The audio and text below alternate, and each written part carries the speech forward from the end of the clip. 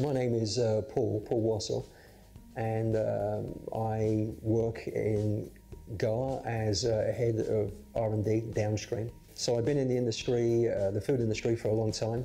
Started in the baking industry actually, and then gradually uh, somehow ended up in the oils and fats industry. Palm oil has uh, enormous applications. We can find it in things such as uh, margarines, we can find it in things like chocolate, ice cream, yogurt, you can even find it in lipstick. Palm oil products will be used by uh, manufacturers together with other oils such as soybean oil, such as rapeseed oil.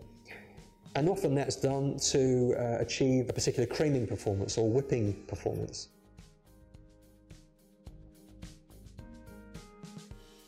Palm oil is an oil which they associate with saturated fatty acids. Yes, it contains saturated fatty acids, but then so do most oils. Saturated fats are like uh, building blocks. They're like the bricks in a wall. So you need, uh, you need some bricks to be able to create structure. The structure, for instance, of a, a butter.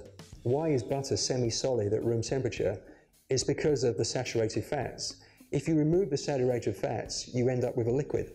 Can you imagine if you're a food manufacturer and you're trying to produce a certain kind of cream inside a, um, a biscuit? You need a, a degree of saturated fat in there for functionality. Um, otherwise, it cannot perform the function. The good news is, if you get it from palm oil, it's a perfectly natural product. Many consumers suffer with lactose intolerance, so um, lactose coming from milk products. But the fact is, is that milk uh, fats have a particular melting behavior. We can uh, design uh, a special fraction from palm that mimics milk fat. It's amazing. Palm oil is, yeah, multi-purpose.